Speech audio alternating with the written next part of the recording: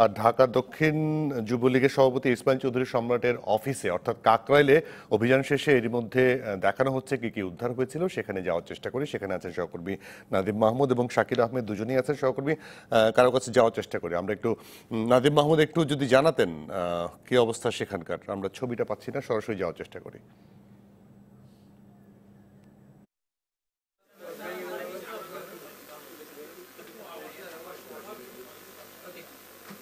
আমরা একটু বের হয়ে গেলে আপনারা একটু ঢুকতে পারবেন ভাইয়া ভাইয়া আমরা একটু বের হই বের হই আসেন, আসেন, আসেন। জুয়েল, আমরা ইসমাইল হোসেন চৌধুরী সম্রাটের যে ব্যক্তিগত কার্যালয় রয়েছে, এই কাকরাইলের ভুইয়া ম্যানশনের চতুর্থ তলায়, তার মধ্যে আমরা প্রবেশ করতে পেরেছি এবং র্যাবের এই অভিযানে এখান থেকে এখন পর্যন্ত একটি পিস্তল উদ্ধার করা হয়েছে এবং দুটি বন্যপ্রাণীর চামড়া উদ্ধার করা হয়েছে। দুটি চামড়াই অস্ট্রেলিয়া থেকে অবৈধভাবে ক্যাঙ্গারুর চামড়া তিনি নিয়ে এসেছেন। সেই দুটি চামড়া উদ্ধার করা হয়েছে। এছাড়াও বিপুল পরিমাণ মাদকদ্রব্য উদ্ধার করা হয়েছে। মদ, মদের অনেক বোতল পাওয়া গেছে। সেই সমস্ত বিষয়গুলো আমরা দেখতে পাচ্ছি এই চতুর্থ তলায় এবং বিভিন্ন কক্ষ ঘুরে আমরা দেখতে পেরেছি। বেশ রাজকীয় একটা অফিস তিনি বানিয়েছিলেন এবং এখানে বসে তিনি তার নানা ধরনের কর্মকাণ্ড পরিচালনা করতেন এবং এই ভবনের বেশ কয়েকটি কক্ষ রয়েছে। সেই কক্ষ ঘুরে ঘুরে আপনাকে জুয়েল দেখানোর চেষ্টা করছি। একটি কক্ষে অস্ত্র আমরা দেখতে পেয়েছি, আরেকটি কক্ষে এখন আমরা চলে যাচ্ছি। সেখানে অস্ট্রেলিয়ার যে বিরল প্রজাতির ক্যাঙ্গারু রয়েছে, সেই ক্যাঙ্গারুর চামড়া তিনি অবৈধভাবে দেশে নিয়ে এসেছিলেন। সেই চামড়াটি যে আমরা দেখতে পাচ্ছি, এরকম মোট দুটি চামড়া তিনি এই অফিসে এই অফিসে নিয়ে এসেছেন এবং এখন র্যাব কর্মকর্তারা সিজার লিস্ট তৈরি করছেন এই অফিসে কি কি পাওয়া গেছে।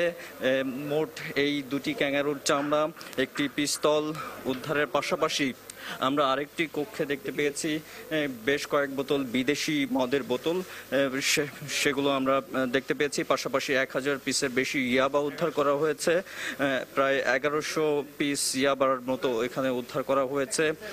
এই অফিসে বসে তিনি মাদক সেবন করতেন বলে প্রাথমিকভাবে সত্যতা পেয়েছে র্যাবের দল। পাশাপাশি এই অফিসের বিভিন্ন কক্ষে আমরা বিভিন্ন রাজনৈতিক নেতার ছবি লক্ষ্য করেছি। মোট এগারোশোর বেশি পিস ইয়াবা আমরা এখানে দেখতে পেয়েছি। র্যাবের পক্ষ থেকে বলা হয়েছে যে এখানে মদের বোতল, বিদেশি মদের বোতল রাখা হয়েছে, যেগুলো বেআইনি ভাবে রাখা হয়েছে। অনুমোদনের কোনো বৈধ কাগজপত্র। এখানে মোট এগারোশোর বেশি পিস ইয়াবা আমরা এখানে দেখতে পেয়েছি। র্যাবের পক্ষ থেকে বলা হয়েছে যে এখানে মদের বোতল, বিদেশি মদের বোতল তার এর আগে আমরা একজনকে সাজা দেওয়া হয়েছে বন্যপ্রাণী সংরক্ষণ আইনে সেলিম যাকে গুলশান এলাকা থেকে তার বাসা থেকে উদ্ধার করা হয়েছিল পরে তাকে ছ মাসের জেল দেওয়া হয়েছে। এবং সে কারণে বন্যপ্রাণী সংরক্ষণ আইনে তার এর আগে আমরা লক্ষ্য করেছি যে একজনকে সাজা দেওয়া হয়েছে বন্যপ্রাণী সংরক্ষণ আইনে সেলিম যাকে গুলশান এলাকা থেকে তার বাসা থেকে উদ্ধার করা হয়েছিল, পরে তাকে ছ মাসের জেল দেওয়া হয়েছিল। তো ইসমাইল হোসেন চৌধুরী সম্রাটের বেলায়ও তাকে ভ্রাম্যমাণ আদালত ভ্রাম্যমাণ আদালত তাকে সাজা দিতে পারে ধারণা করা হচ্ছে। আমাদের আরেক সহকর্মী রয়েছেন শাকির। এখন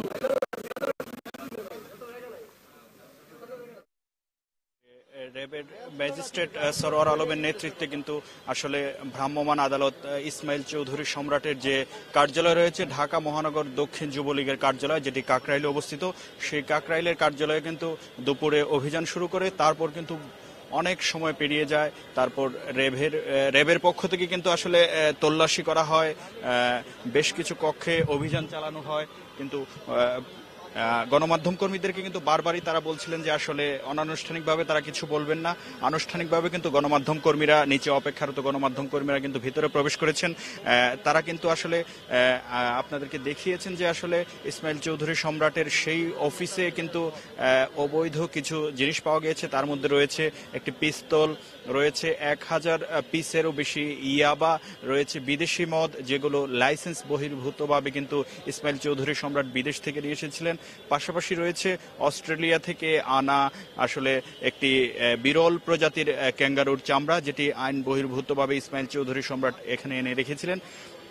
এইসব অবৈধ জিনিস কিন্তু পাওয়ার কথা রেব জানিয়েছে। ইতিমধ্যে সহকর্মী নাদিম মাহমুদও সেটি জানাচ্ছিলেন। আর আরেকটি বিষয় আপনাকে জানিয়ে রাখতে চাই যে ইসমাইল চৌধুরী সম্রাট ক্যাসিনো ব্যবসার সঙ্গে যুক্ত গণমাধ্যমে এমন সংবাদ প্রকাশিত হওয়ার পর থেকে কিন্তু ইসমাইল চৌধুরী সম্রাটের গতিবিধি লক্ষ্য করছে আইন শৃঙ্খলা বাহিনী, বিশেষত রেব। তো সেই পরিপ্রেক্ষিতে কিন্তু আজ সকালে কুমিল্লার চোদ্দ গ্রাম থেকে তাকে আসলে আটক করা হয়। তার বিরুদ্ধে আসলে এখনও কোনো ধরনের মামলা না হলেও কিন্তু মামলা হওয়ার সম্ভাবনা রয়েছে, মাদক দ্রব্য আইনে মামলা হওয়ার সম্ভাবনা রয়েছে, অন্যদিকে সম্ভাবনা রয়েছে মানি লন্ডারিং আইনে কিন্তু তার বিরুদ্ধে মামলা হওয়ার সম্ভাবনা রয়েছে। কারণ তিনি ক্যাসিনো ব্যবসার মাধ্যমে যে সকল অর্থ, বিপুল পরিমাণ অর্থ আয় করেছিলেন, সেগুলো কিন্তু বিদেশে পাচার করেছেন বলে গণমাধ্যমে খবর বেরিয়েছে। আরেকটি বিষয় আপনাকে বলে রাখি, ইসমাইল চৌধুরী সম্রাটের সঙ্গে কিন্তু তার আরেকজন সহযোগী আরমানকে কিন্তু আটক করেছিল আইনশৃঙ্খলা বাহিনীর সদস্যরা। রেব তো আরমানের গ্রামের বাড়ি লক্ষ্মীপুরে আমরা জানতে পেরেছি কিন্তু ঢাকায় তিনি থাকতেন হচ্ছে মিরপুরে। সেই মিরপুরে আরমানের যে বাসা রয়েছে, সেখানেও কিন্তু সেখানে কিন্তু আইন শৃঙ্খলা বাহিনীর সদস্যরা, অর্থাৎ মিরপুরে কিন্তু অভিযান চালিয়েছেন। সেখানেও কিন্তু সেখানেও গণমাধ্যমের সঙ্গে কথা বলেছেন আইন শৃঙ্খলা বাহিনীর সদস্যরা। আরেকটি বিষয় আপনাকে জানিয়ে রাখি যে ইসমাইল চৌধুরী সম্রাটের স্ত্রীর যিনি রয়েছেন, তিনি কিন্তু বাসায় গণমাধ্যম কর্মীদের সঙ্গে কথা রয়েছেন, কথা বলেছেন। তিনি গণমাধ্যম কর্মীদেরকে আসলে জানিয়েছেন যে ইসমাইল চৌধুরী সম্রাটের সঙ্গে প্রায় দীর্ঘ দুই বছর ধরে তার কোনো ধরনের সম্পর্ক নেই। পাশাপাশি তিনি আরেকটি বিষয় বলেছেন যে, ইসমাইল চৌধুরী সম্রাট আসলে আহ, এত বড় ক্যাসিনো ব্যবসার সঙ্গে যুক্ত তিনি আসলে সেটি জানতেন না। আরেকটি বিষয় তিনি বলেছেন যে আসলে তিনি সকল অর্থ যেগুলো আয় করেছেন অবৈধভাবে সেগুলো আসলে তিনি সংসারে কোনো কাজে খরচ করতেন না। তিনি ব্যক্তিগতভাবে আসলে সেগুলো বিদেশে গিয়ে আসলে জুয়া খেলার মাধ্যমে সেগুলো আসলে তিনি ইয়ে করেছেন, নষ্ট করেছেন। তার স্ত্রী সেগুলো বলেছেন সহকর্মী নাদিম মাহমুদের কাছে আবারও চলে যাচ্ছি। নাদিম মাহমুদ আসলে আমাদেরকে ভিতরের অবস্থা জানাবেন।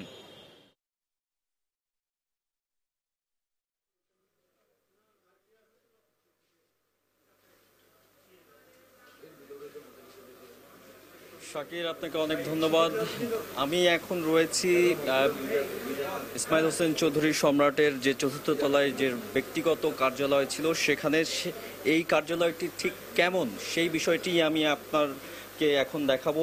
এটি হচ্ছে ইসমাইল হোসেন চৌধুরী সম্রাটের যে ব্যক্তিগত কার্যালয়, তার রসুই ঘর এখানে রান্নাবান্না করা হতো তার জন্য এবং তার সঙ্গে যারা এখানে অবস্থান করতেন, এখানে রান্নাবান্না করা হতো এবং আমরা পাশে আরেকটি কক্ষে দেখেছি একটি ডিপ ফ্রিজ এবং একটি সাধারণ ফ্রিজ। সেই ফ্রিজের মধ্যে যেমন বিভিন্ন ধরনের রান্নার জিনিস রয়েছে, পাশাপাশি মদের বোতলও আমরা দেখতে পাচ্ছি। আমরা দেখতে পাচ্ছি চীনা বাদামের দামের প্যাকেট দেখতে পাচ্ছি। এগুলো যেমন রয়েছে, লেবু রয়েছে।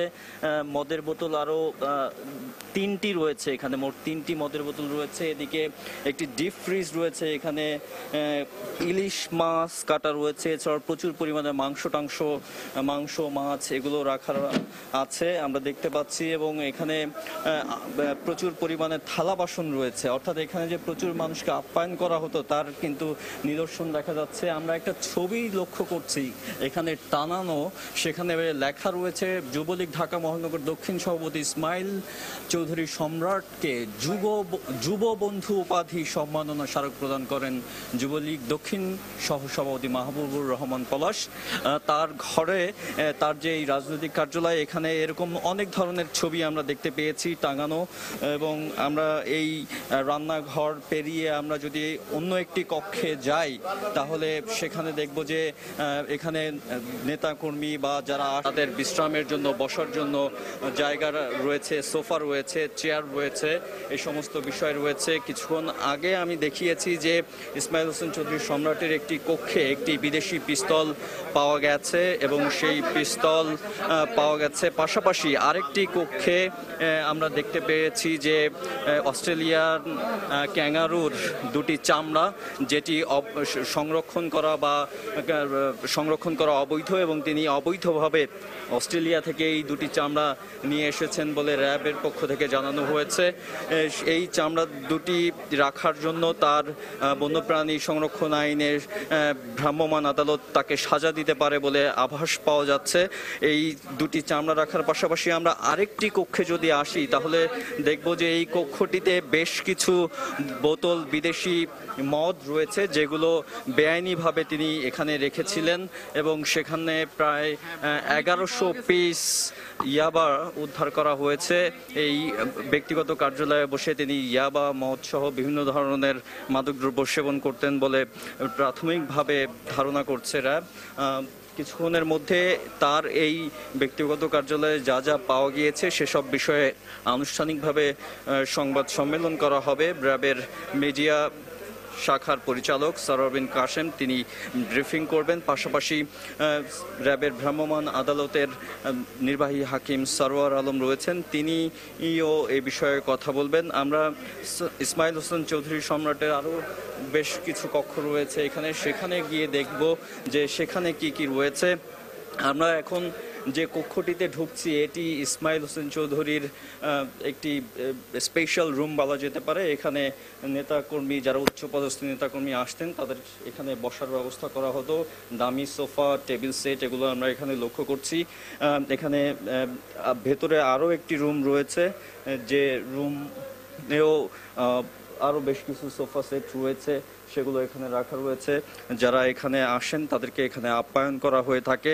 তাদেরকে এখানে বিভিন্নভাবে আপ্যায়িত করা হয়ে থাকে বলে র্যাবের পক্ষ থেকে জানানো হয়েছে। আমরা আরও একটি কক্ষে গিয়ে দেখি সেই আমরা এখন যে কক্ষটিতে রয়েছি, এই কক্ষটিতে নানা ধরনের ক্রেস্ট রয়েছে। ইসমাইল হোসেন চৌধুরী সম্রাটকে যারা সংবর্ধনা দিয়েছেন সেই ধরনের ক্রেস্ট রয়েছে। তাকে দেখা যাচ্ছে Wills little flower school and কলেজের পক্ষ থেকে ক্রেস্ট দিয়েছে। তারপরে Ismail Hossain Samrat challenge knockout night football ও জুনিয়র ক্রিকেট টুর্নামেন্ট ইত্যাদি। ওইটা। আচ্ছা এবার আপনাকে আমি আর একটা বিষয় একটু দেখাতে চাই। এই যে যে মাদকদ্রব্যগুলো উদ্ধার করা হয়েছে, এর পাশেই রয়েছে দুটি ইলেকট্রনিক হিট মেশিন এই দুটি হিট মেশিন দিয়ে তিনি তার বিরোধী যারা রয়েছে, তাকে যারা তিনি যাকে শত্রু মনে করতেন, তাদেরকে এই হিট মেশিন দিয়ে সায়স্তা করা হতো, শাস্তি দেয়া হতো। র্যাবের প্রাথমিক অনুসন্ধানে এটি বেরিয়ে এসেছে। এই দুটি মেশিন দিয়ে তিনি এক ধরনের টর্চার সেলও কিন্তু এখানে তৈরি করে রেখেছেন। এই দুটি মেশিন আমরা দেখতে পাচ্ছি যে ইলেকট্রনিক হিট মেশিন এখানে হাত আটকে রেখে বা শরীর অঙ্গ প্রত্যঙ্গ রেখে তিনি বিভিন্ন জন যাদেরকে তিনি শত্রু মনে করেন বা যাদেরকে সাহায্য করা প্রয়োজন, তাদেরকে তিনি এই দুটি মেশিন দিয়ে এখানে হিট দিতেন এবং এটা একটা মিনি টর্চারের মতো ব্যবস্থাও এখানে রাখা হয়েছে। পাশাপাশি এখানে আমরা দেখছি দুটি রুলার এইগুলো দিয়ে হয়তো যাদেরকে তিনি পছন্দ করতেন না, তাদেরকে নির্যাতনের কাজে এগুলো দুটি ব্যবহার করা হতো বলে র্যাবের পক্ষ থেকে বলা হচ্ছে। আমরা এখানে আরও রয়েছে এই নির্যাতনের জন্য যে সমস্ত সামগ্রী, সেগুলো আপনাকে দেখালাম। পাশাপাশি রয়েছে এখানে বিভিন্ন ধরনের মাদকদ্রব্য, বিদেশি অবৈধ মদ এবং ইয়াবা সামগ্রী এখানে রয়েছে। সেগুলো এখানে রয়েছে। মোট কথা, এই চতুর্থ তলায় ইসমাইল হোসেন চৌধুরী সম্রাটের যে ব্যক্তিগত কার্যালয়, এটি তার নিজস্ব একটি সাম্রাজ্য হিসেবে তিনি গড়ে তুলেছেন এবং এই সাম্রাজ্যে তিনি তার যাবতীয় এন্টারটেইনমেন্ট বা বিনোদনের সমগ্র বিষয়গুলোই এখানে রাখা হয়েছে। সব কিছু মিলে বলা যেতে পারে, এই কার্যালয় একটি যেমন তার বিনোদন বা রিক্রিয়েশনের সেন্টার পাশাপাশি তার নানা ধরনের অপকর্মের সাক্ষী এই কার্যালয়টি। এখানে মানুষজনকে যেমন টর্চার করা হতো, সেই সমস্ত, টর্চার করার জন্য যে সমস্ত যন্ত্রপাতি দরকার, তার কিছু কিছু আমরা আজকে এখানে দেখতে পেয়েছি। মাদকদ্রব্য সেবন হতো এবং এখানে নেতাকর্মীদের এখানে প্রচুর পরিমাণে প্রচুর পরিমাণে এখানে খাদ্য সামগ্রী পাওয়া গেছে, যেগুলো তিনি নেতাকর্মীদের আপ্যায়ন করাতেন বলে ধারণা করা হচ্ছে। এই ছিল আমার কাছে জুয়েল। নাদিম, আপনি থাকবেন। আমরা আসলে আপনার মাধ্যমে ছবিগুলো দেখাতে থাকব। আমরা পরবর্তীতে ব্রিফ যখন হবে র্যাবের পক্ষ থেকে, তখন আবার আসব ছবিগুলো আমরা থাকব, দর্শকদেরকে দেখাবো, পাশাপাশি অন্যান্য খবরও দেখানোর চেষ্টা করব। নাদিম, আপনাকে অসংখ্য ধন্যবাদ।